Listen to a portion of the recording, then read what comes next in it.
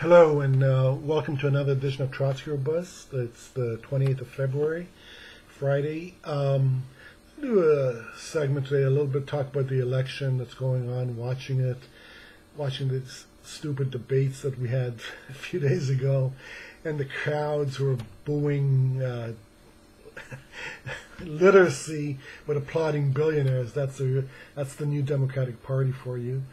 Um, first, I want to address the whole thing. I, I've been seeing this a lot online, even on TV, where they're making comparisons to Bernie and Trump.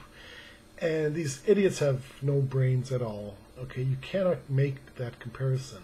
I mean, Trump was not liked by the establishment of the Republican Party, but uh, his policies were liked. That's that's the difference. It wasn't a, uh, you know, today with Bernie, it's just the opposite. It's not personal with Bernie. It's just they don't like his policies. Trump was just the opposite. They loved his policy. They still do. I mean, tax cuts for the rich, deregulations, increased military spending. Um, that's just regular Republican Party, uh, party policies. Any one of the 17 or however many people Trump was running against in the primaries, if they were president, they all would have done the same thing. Each and every one of them would have done exactly the same policies. Yeah, Trump's boisterous, whatever, he's obnoxious. The policies are the same. Um, and by the way, I want to say something real quick about deregulation because Trump loves to say job crushing regulations. Do you know regulations create seven times as many jobs as they destroy? I mean, think about it. It's you know, one, they protect us, so they're a good thing. Two, they force companies to hire people in order to comply with the regulations. And plus, the government is forced to hire people too in order to enforce the regulations. So they're a good thing. Okay, they create jobs. So uh, Democrats will never challenge them on it. Uh, regulations are a good thing, but no, Trump is. You know, Bernie. I don't know if Bernie's real. I don't trust Bernie. But if he's real, then he's not Trump. His policies are the problem, not the, his personality. Um, if he's real, that is. So yeah, they can and will stop Bernie. I mean, they're not going to stop Bernie now. They can't stop him now. As I said in the last um, uh, segment, uh, everybody is out of money. Joe Biden's going to win tomorrow in South Carolina. It's not going to make one iota of difference. Doesn't matter if he wins by 50 points. Makes no difference. Three days later, everyone will forget about South Carolina. And Joe has no money. And Buttigieg has no money.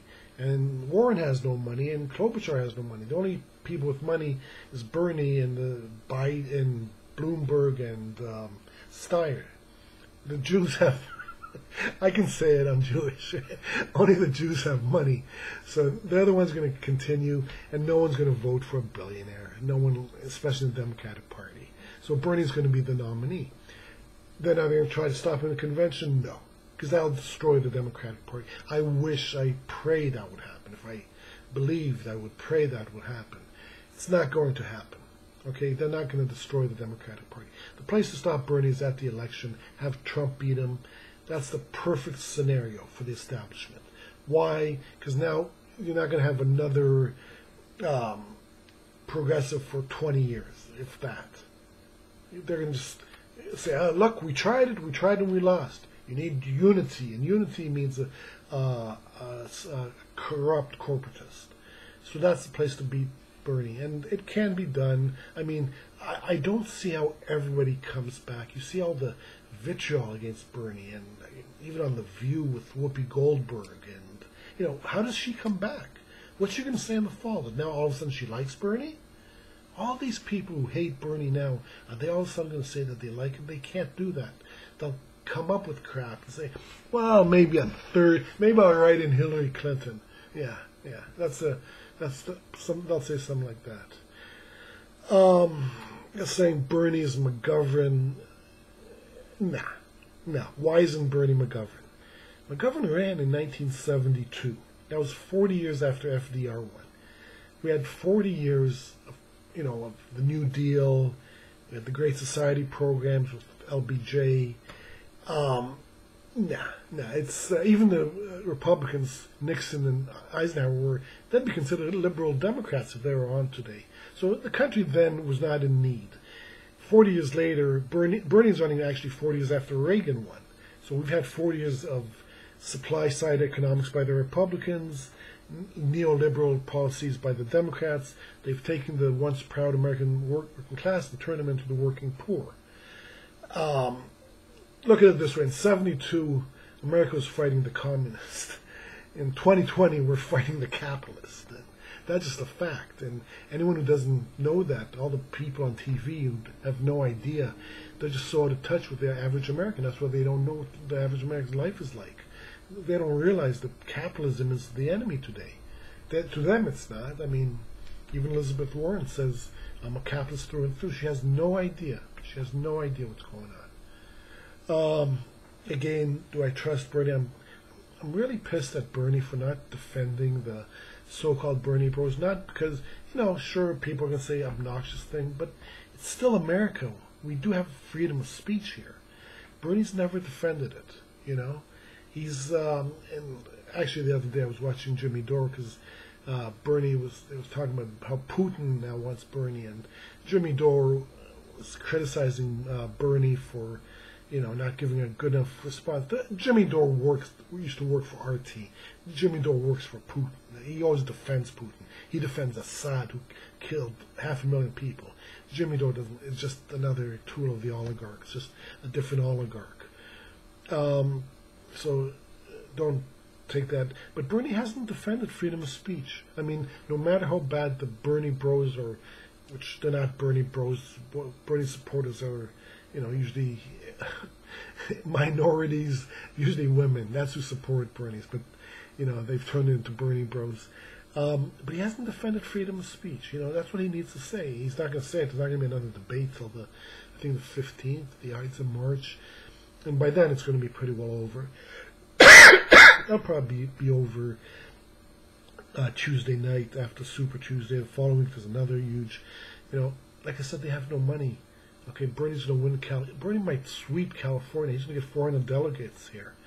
You know, he's going to have such an insurmountable lead by even March 15th that this thing's going to be over. But like I said, the place to stop him will be at the convention.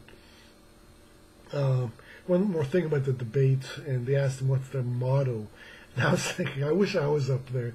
I'll tell you my motto. It's uh, never believe your own bullshit. You know, but unfortunately, politicians can't say it because you know, that, that would be so funny if somebody had said something like that. that um, Bernie had actually a good one. It was the Nelson Mandela one where nothing is possible until it's done, or something like that. I don't know. Don't want to misquote it. Or like I don't give a shit. Um, but uh, th- these things are funny. They're entertaining. Uh, weekend is the combine weekend, and I remember last year at this time how I was into the combine, and today I don't give a shit. One, my team doesn't isn't Lions. I have no future. They just get worse. I don't know why they didn't fire their coach and general manager. But uh, it's not that. It's that this is more interesting. Politics is our new contact sport. You know, it's just it's so funny. You see them on the debate. It's these people. Four of them were in their seventies, uh, another two in their sixties, and they're arguing like little children. I mean, and that stupid Mayor Pete, where he's talking over, doesn't let Bernie talk like he's a kid. And I said, Pete, you can talk all you want, just say something. I mean, the thing about here, I live here in Southern California. I work as a salesman. I've been here for 31 years.